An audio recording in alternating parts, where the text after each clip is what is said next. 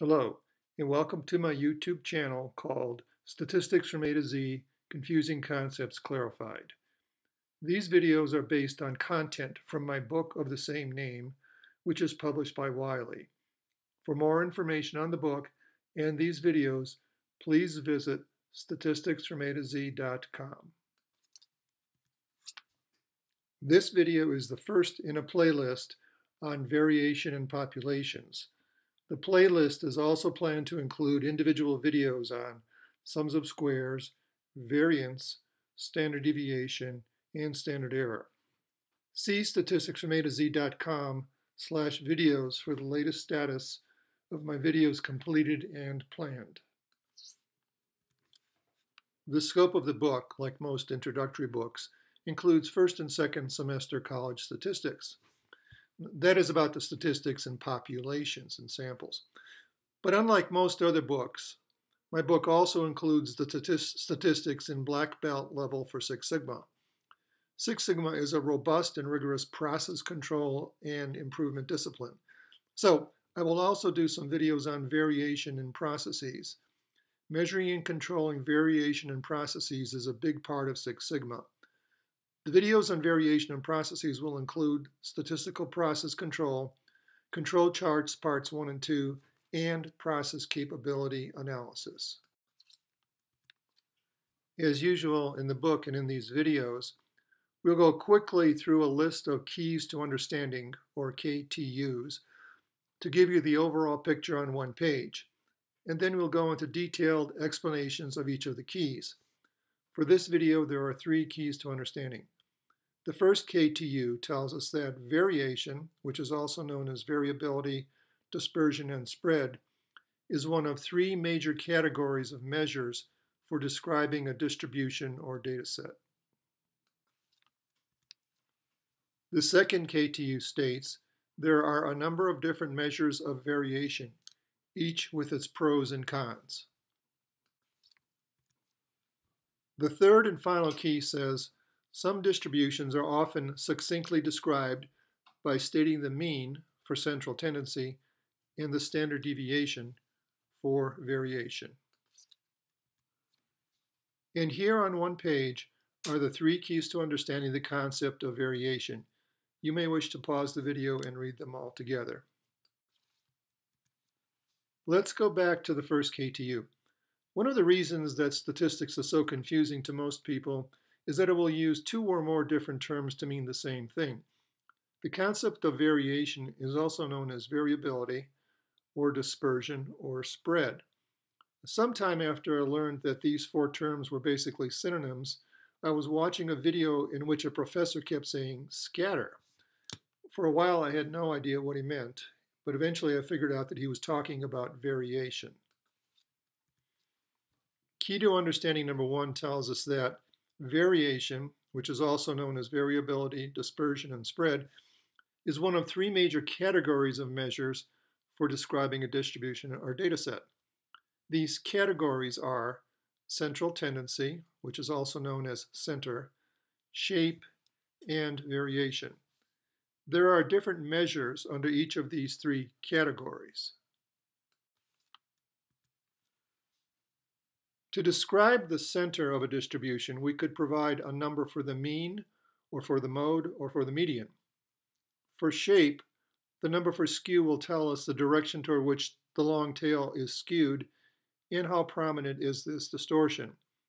And kurtosis is a measure of how pointy a distribution is. Variation has more measures than the others, including the ranges, the, the measures for range, variance, standard deviation, and others which we'll soon describe. Conceptually, measures of variation tell us how spread out the data is. The more spread out, the higher the numerical value for the measure of variation. There are a number of measures of variation. Different measures are useful for different purposes. Here are five common measures. Range, interquartile range, or IQR, variance, mean absolute deviation, MAD, and standard deviation. We'll describe each one in turn. Range is simply the difference between the highest and lowest values. It only tells you about two values out of the many which may be in the population or sample. It tells you nothing of the values in between the highest and lowest values, so it doesn't give you any information about how data is clustered about the mean. The value of the range is in the same units as the data. It can be useful in a description, but it is not commonly used in statistical calculations. The interquartile range, or IQR, is illustrated as the box in this box and whiskers chart towards the bottom of the page. Everything else in the chart is outside the IQR. The box tells us where the middle 50% of the data are clustered. We see from the scale at the bottom of this slide that the IQR box in this example extends between the data values of 30 and 50 centimeters. So the interquartile range is 50 minus 30, which equals 20. 25% of the data points have values less than the lower boundary of the box, and 25% of the data values have values greater than the upper boundary of the box. So the box defines what is sometimes called the middle 50. The lowest and highest data values in the data set are outside the IQR box to the left or right. So the interquartile range itself tells us nothing, nothing about them. The IQR is helpful in describing the clustering around the mean, and it is in units of the data. Like the range, the IQR is useful for descriptive purposes but unlike, say, the variance and the standard deviation, it is not commonly used in statistical calculations. There will be a there will be a separate video on the concept of variance, so we won't go into a lot of detail here.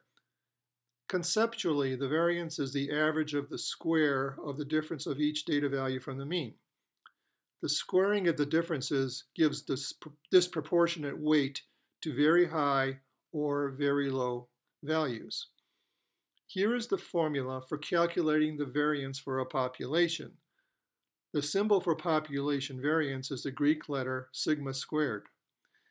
The numerator is the sum of squares and the denominator is capital N, the size of the population, if it is known. There are different formulas for the variance of a sample and the variance of random variables. Unlike the range and the IQR, the variance is used a lot within statistical calculations. More on that in the video on variance. However, as a final measure of variation, it has another drawback. Its units are the squares of the units of the data.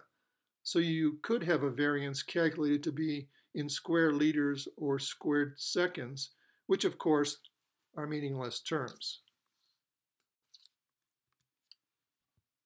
In calculating the variance, why did we square each difference before summing them? Because if we didn't, we'd end up with zero every time. So why not use the absolute value instead of squaring? That way we would avoid the disproportionate effect of squaring very high and very low data values. And, and this is what the mean absolute deviation, the MAD, does. But the MAD is not used that much because squares are easier to manip manipulate in mathematical calculations than absolute values. This is explained in the video on the variance. Also, we can just take the square root of the variance to get the standard deviation. The standard deviation is the square root of the variance. Compared to the variance, it can greatly reduce the disproportionate effect of high and low values. But extremely high or low values can still have outsized effects. The standard deviation does have the benefit of identifying cluster about, clustering about the mean, like the variance does, but it is in units of the data, which is more, much more useful than the squared units that the variance gives us. There will be a separate video on standard deviation. And here, once again, on one page is a summary of these five measures of variation.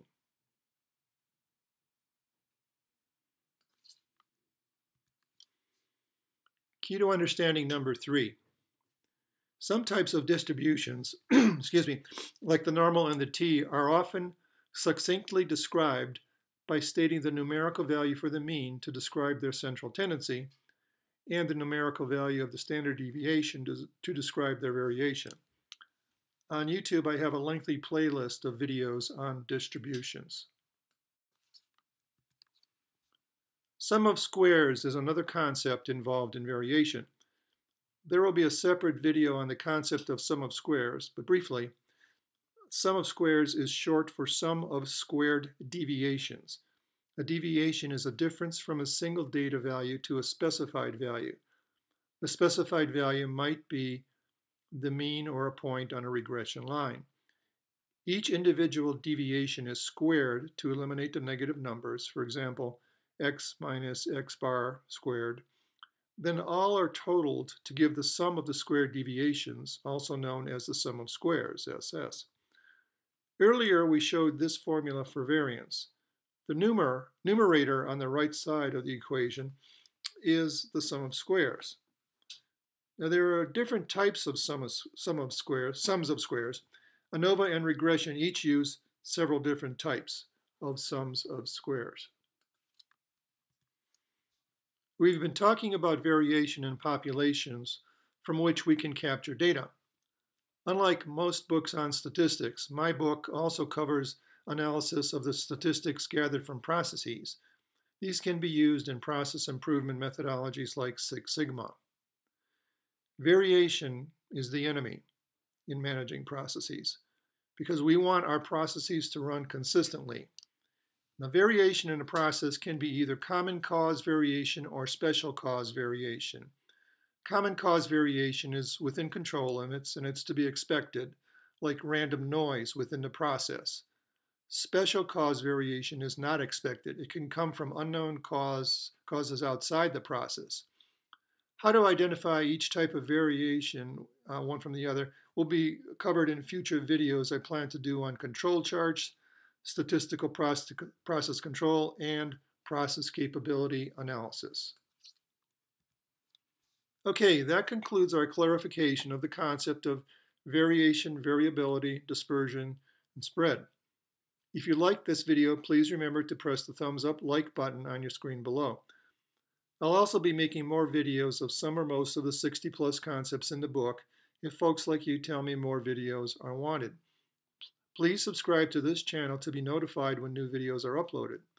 Also, the website statisticsfromatoz.com has a listing of available and planned videos. Now, videos like this one can be very helpful but they're not very handy when you want to quickly look up something on the job while studying or during an open book exam. For that, nothing beats a book or an ebook. You can learn more about those on the website. I'd recommend following my blog at statisticsfromatoz.com slash blog. I've got some things there that hopefully you will find interesting, like a statistics tip of the week series, as, as well as posts showing that you are not alone if you're confused by statistics. I'll also be posting on the Facebook page Statistics from A to Z and on Twitter as at stats A to Z.